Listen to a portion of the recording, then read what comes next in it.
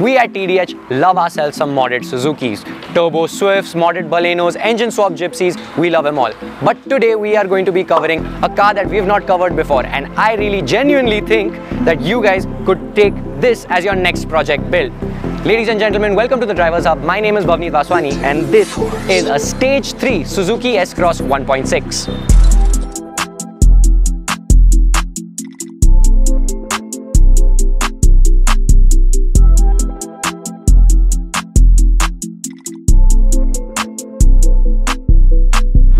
Now, why do I think this is a great canvas? Let's talk about the engine and the mods. So, stock, it produces 120 bhp and 320 newton meters of torque from a 1.6 DDIS that is Fiat derived now though, it produces much more because it's got a stage 3 Garrett turbo, Garrett intercooler of which all of the plumbing has been done by Engineering Exponent here in-house and you've also got an HPI air filter and a decat downpipe that are custom and you've also got a muffler that is made straight here at Engineering Exponent. How much more you ask? Well, on the dyno this thing was able to make a ridiculous 200 bhp at the crank and 437 newton meters of torque. Absolutely bonkers. Moreover, an S-Cross build, in our opinion, is one of the easiest, most affordable and reliable ways to get 200 bhp out of a car. Here is a breakdown of the Stage 3 build. Quite the shocker, right? In around 2 lakh rupees, you can get yourself an S-Cross pushing 200 bhp. Quite the deal, right?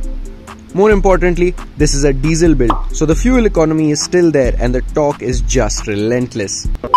Hey guys, today I want to recommend my friend's website called 1Win where you can earn money steadily and my favorite game on the website is the Lucky Jet game where your main task is to collect money before the pirate flies away. Now I have made a deposit of 3000 rupees in my account and I'm going to show you how to do it.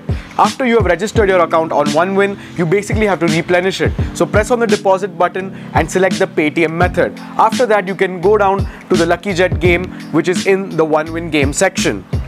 I will place two bets and wait for good odds. To earn money, I must have time to raise and earn money.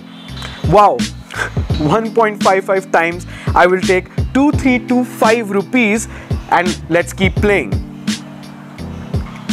Wow guys, 2.13 times and I won 3195 rupees. Now I will do the withdrawal of my funds. You must log into your account and click withdrawal after which you select the method which is most convenient for you and indicate the amount. That's it now. I'll just have to wait for my money. I will leave the link for this game down in the description below and the guys from 1Win have been very generous and will give our subscribers a exclusive offer which is 25,000 rupees for your first deposit when you play the Lucky Jet game and you can use our promo code DRIVERS500 to redeem this offer. The registration, the link and everything is down in the description below or in a pinned comment oh my god, the money has already been deposited in my account. Now I can completely rest.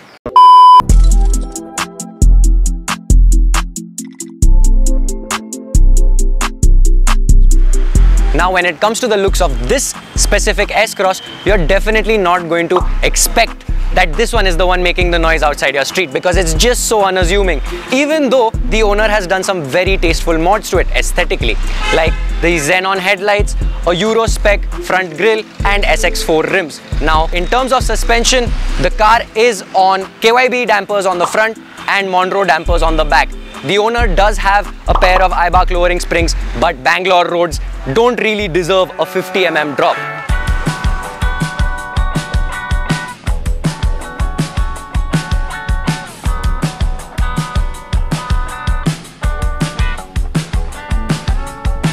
Now driving the stage 3 S-Cross on the busy streets of Bangalore, sedately, it is pretty much nothing special. Uh, it is the same feeling that you would get driving any other car that is stock.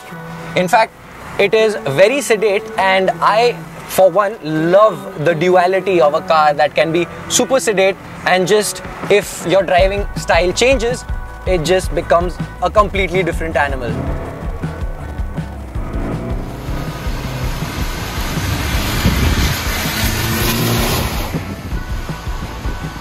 There is no buttons, there is no modes. It's just put your gear down and put your foot down and your car is completely different. Now the torque is just so addictive from 2000 RPM all the way to 5 because this is a diesel. It feels super linear but there is a little bit of lag from 1 to 2 and if you are a gear high or a gear too far it's not going to be spooling at all.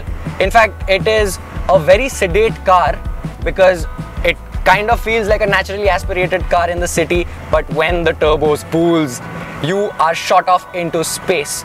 Plus it is quite a light car so all of this power is definitely going to be shoving this car really far into the distance and it does feel like it has a lot of power still left because this 1.6 DDIS is very tolerant so if you want to put a little bit more of an aggressive tune or you want to get that turbo lag a little bit further out and then get that full shebang you definitely can do it. So the owner used to drive the car with yellow stuff uh, yellow stuff brake pads from EBC but now they are in a stock setup which uh, is a little unnerving because of the amount of power that you've got. But as long as you're respectful the brakes do bite very well and they have a very progressive feel to the pair, to the foot which makes it very confidence inspiring. And even the clutch is not heavy not light. It is very responsive and it's also got a very uh, predictable biting point which makes shifting also very easy. When it comes to the power the 202 bhp isn't uh, the number that you're supposed to be looking at. But the 438 newton meters of torque that is a lot of torque for a tiny tiny little car like this and when it comes to the interior the owner has also done some very tasteful mods. So the speakers are shipped from Israel and cost 2 lakh rupees. Yes, you heard that right. And you've got a JCV head unit. The speakers are called Morel uh, speakers which are very very nice and they are custom made specifically for this car and the acoustics of this car. So the sound system actually feels very very rich inside. So this is a very nice place to be and it's a very nice car to drive. Considering that all in all this could be yours for like maybe 11 12 lakh rupees this is definitely something that should be on your mind if you're going to be buying one of one of these or actually having a project more importantly, the S-Cross has some good creature comforts like auto climate control, keyless entry and start-stop button and a pretty basic but informative instrument cluster. The S-Cross has a 6-speed manual gearbox, so this stage 3 setup paired with the 6-speed is a great combo for someone looking to munch miles on the highway, since the tune can allow the car to cruise at decent highway speeds and the 6th speed being an overdrive gear will allow for it to extract some good fuel economy numbers. Also, not like the S-Cross is small, it is a fairly large car relative to other Suzukis and gets a healthy boot space of 353 liters. The perfect Indian Grand Tourer? Maybe. The guys at Engineering Exponent and Wolf Performance are claiming that this is quite possibly one of the very few Stage 3 S-Cross builds in the world, which is quite ridiculous but also understandable since all of this stuff you see on this car isn't like a Volkswagen or a Skoda where everything is bolt on. Wolf Performance has built three different S-Cross Stage 3s and all of them have been developed by Wolf. Quite a lot of custom work and R&D has gone into making this setup work and that's the beauty of the boys over at Engineering Exponent and Wolf Performance. They like to think out of the box.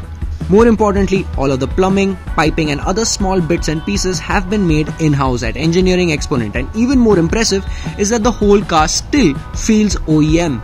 Even more astonishing is that when the car had a proper set of tires and wheels, it had done 0 to 100 km per hour in 6.9 seconds, which is enough to put many mainstream tuner cars to shame.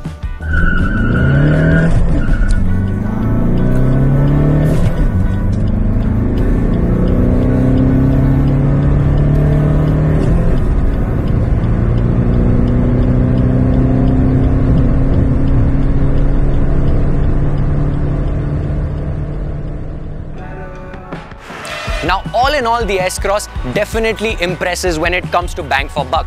The car is actually not that expensive even in the first-hand market. And when you consider that all of the mods when it comes to performance cost two and a half lakh rupees this is definitely something that you can afford including the maintenance and the body parts for it. Because it's a Maruti Suzuki after all and it is very easy to maintain these cars in India if you're in the market for something that has 200 bhp and is quite affordable, this is actually a really good canvas for you to start your project work with.